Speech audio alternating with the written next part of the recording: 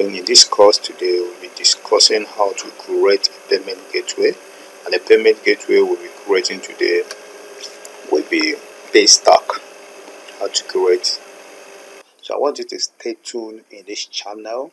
Make sure you do not drop along the line. Watch to the end. I repeat, watch to the end because as we go through this course, I'll be releasing some secrets on how to do digital marketing. Watch to the end. As I said, watch to the end.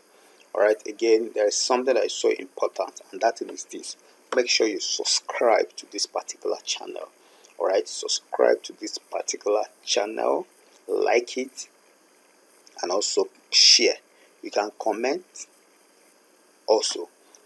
It is very necessary.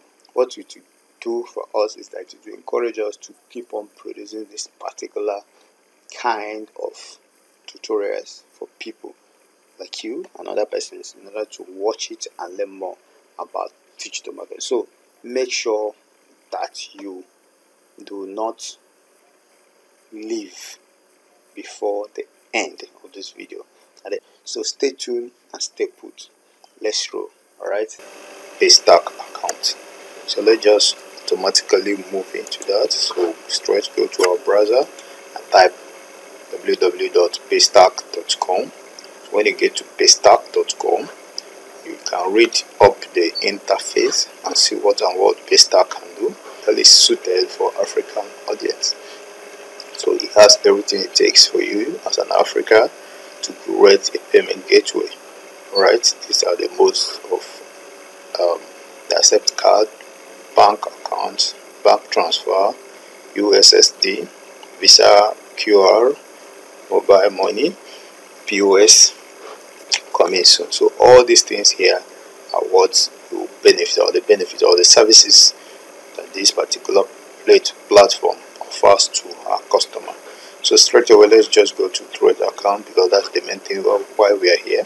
Just click on create account that will open and when it finally loads we see something like this because um, automatically the browser have dictated that I'm in Nigeria.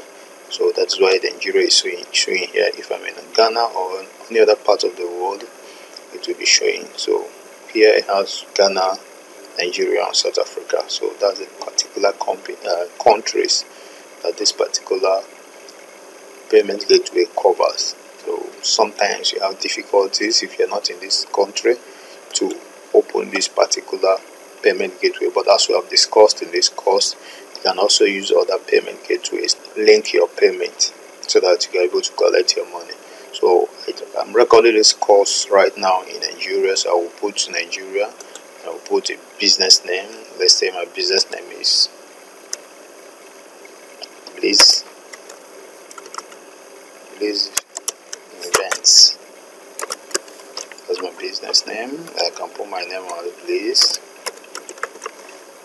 please okay then I'll put the other name as Blaze as well.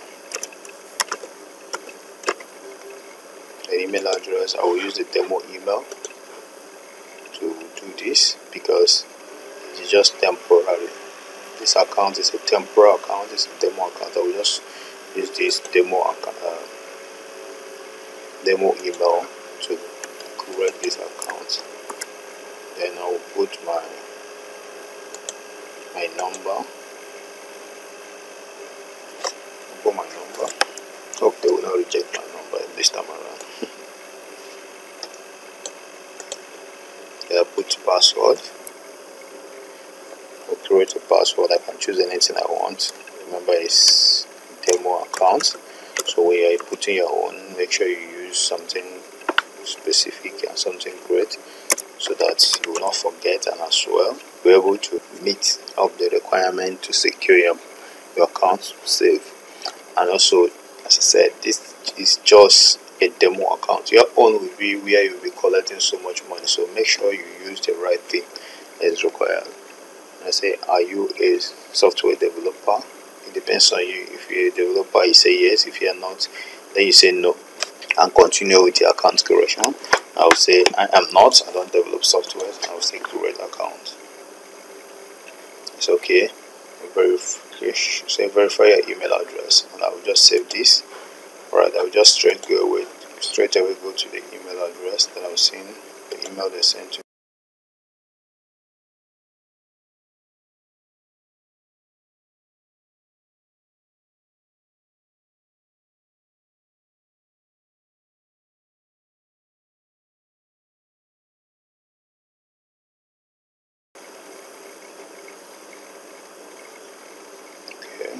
say confirm email alright so I've confirmed the email. I'll log in. It's okay. I got it I'm already in my dashboard. So the account has been created. The next one is to fill information business in this particular interface. It's a description what do you do? Say uh, since we are doing the digital product as a digital product creator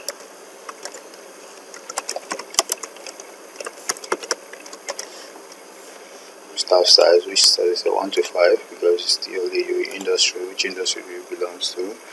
I choose the industry you are, you are functioning okay? Depends on the industry you are. You just choose this particular industry. Here I would say education because you just for formality sake after then category.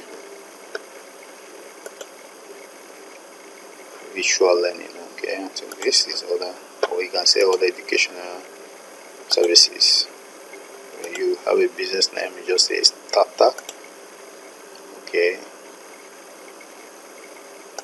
Starter business so that's okay for you.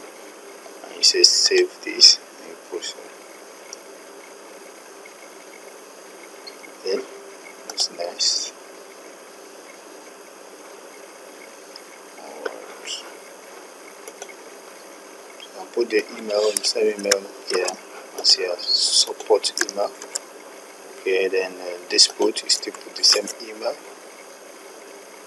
The number, website. If you don't have a website, you proceed. If you have, you put okay, so official address. Um, you are in Nigeria you are doing your own where your business is located you can put your official address Nigeria here a state you can choose a state in Nigeria choose um, choose Lagos city put Ikeja rest I can formula still put Ikeja here so that they will keep going apartment and so I don't want to put those ones. Then I send proceed right next. But now you can put your identity the funny thing about this you have to upload some certain things to prove your identity. Okay for your account to be officially accepted. But having done this at least gone this far it's have proven that yes you are the owner of this account. So let me just show you one of the things that you needed to know so that when you're filling this after filling you can as well do the other one. Um, so the particular um, the particular area that we're interested in is this place you look at the transaction this is where you come and view the amount of transaction that have already been recorded by your by Paystack okay or the amount of money that your customer have paid in. You check the one you have spent and the one you have received. Customers, check the customers who have filled or check returns, like customers who ask for return, okay, who probably they don't like the product you sold to them, they buy for return. This is where you see it. I pay out the people you have paid um, disputes, a business that is, or whatever the transaction that is disputed. All these things are what you see here. You can create a sub account and subscription recurring payment plan. You can put a subscription. It's for subscription. Can put it here. If it's a plan, you can put it here. You can decide to create a new, like you say, add new plan. You put input whatever you want to input. And if it's a subscription you also then go to plan you put your subscription plan how you want the thing. You put the the plan name the description the amount the interval. Is it weekly? Is it monthly? Is it daily? Is it hourly that the money will be reading whatever you, you whichever one it is you input the sus sub subscription okay? So so you can also go to plan and curate the new one. It just depends on what you want to um, do or what you want to get from your, your customers okay? So um, this one is payment page. You can create a payment page right so this one particular one is the one that we are so interested on this payment page. Okay so we click create click on the we click on the payment page. This interface will open then you create new. We look at it say one-time payment subscription payment product payment. So now let's know what each of them is about. Say one-time payment you create a simple payment for your customer to pay you. Subscription payment. You create a payment page for recurring payment and subscription just like that subscription payment this one. Okay. And this one is for product payment. You create a page to sell one or more products from your inventories. So this one happens to be new. They just added so depending on the one you you want to do but now we're going to be choosing this one as a single.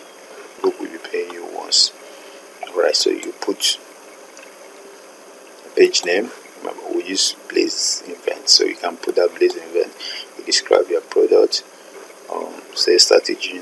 This SEO search engine optimization option. You can put or uh, put image of the product or your company if you like then you select uh, put the amount then what you want to collect you want to collect the people's phone number on this page. So show advance you can also add other fields okay what what else you want to collect from the people okay? Notify how do you want them to notify you when there is a transaction? They can put like when somebody purchased where do you want the person to return to? Is it your page? You want the person to go away if you want the person to return back to your page you put your page put your page here the, the link the url link that you want them to go or the domain name that you want to direct them to you put them here. That's supposed to be a thank you page. Okay you send you put that particular url here. Okay then put a successful message like the message you want to tell them like thank you for purchasing this and that we appreciate you. Thank you for patronizing all sorts of things like that. Then you want to be sent an email. So okay where do you want the email to be sent like someone have done a purchase you put the email here you can as well wish to collect additional information from the people that you can just add this so this will identify that as additional thing. And that they collect the person name, collect the person email address, also collect the person's uh, phone number. Alright, so you write, if I write something, you know, please. Please next. Of product, I would say e product, ebook. Okay, how much? this is 2000 alright so all these ones I'm not interested because I don't know what you want would like to add okay this you can use your your URL okay you add a URL here so that when this particular page is directing still show that you are we selling this product to the customer. So after you have filled out this you can then say curate. Alright say the page has been successfully created you can copy this link then paste it on your website or on your whatsapp store okay? And copy this link and whatsapp it to the person directly so that the person can easily click on it and pay and send you uh, proof of payment even though they will send you an email alright so in your sales funnel so that you can easily you know, navigate or track your funnel easily. So you can let's visit this page and see how it looks like. So after creating, you can click and to visit the page just as it is. Okay, this is what the person will see. automatically say this is a test page where you can see how payments page work do not share with your customer okay so this is what they will see. They will input their name the email address the phone number and the amount then they say pay. All right the email address will help you to do further marketing to upsell them other products that is important. All right so when you have created this payment payment page you can then proceed.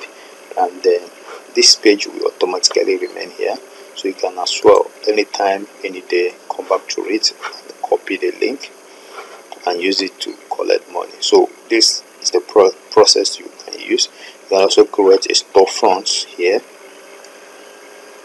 Right create a storefront you add a new store put store name the currency you want then your store link like a store link. Let's say please rent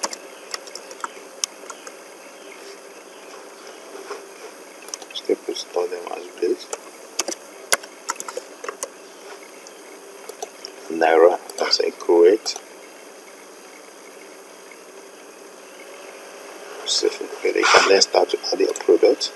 So you add the products you want add everything you want then and then upload online. So that is how you can use this one to create your a store. But what we are interested and what actually brought us to create this account is this particular one we have created which is the payment page. You can also create invoice. Can also create a no invoice but you can request for invoice payment. Like the person or professional invoice a simple invoice because you are just doing a simple invoice. Customer how much? Okay you can still use this process to to create an invoice to your customer. Like to invoice the customer the invoice that you need. Um, you put the customer email address and you write a small note okay, let's let's use to use that our email let's use this email address copy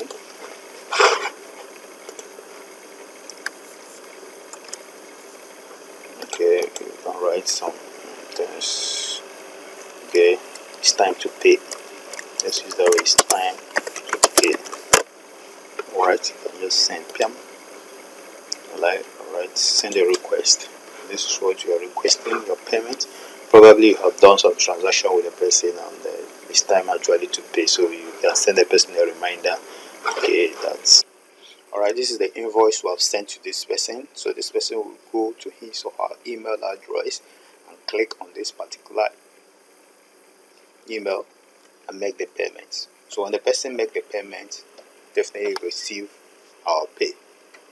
Straight away in our transaction, if we go to the transaction, we see all the transactions that be affected on this account. So this is how you can easily create a Paystack account and use it for every other thing that you want to do. If you are a developer and you want to do some hookups with your website um, you are into digital marketing like e-commerce and you need to embed this your particular account with your website so that the transaction can easily flow from your sales funnel alright so you, you just click on settings and come to this particular API keys and the webhooks when you click here we see your secret key your public key and every other things that you need to do. So these key are for testing only. Please do not use them production. So use this key for to test everything you want because this particular account is still on test mode. Alright, so you see it's still on test mode. Because we have not finished filling this particular form.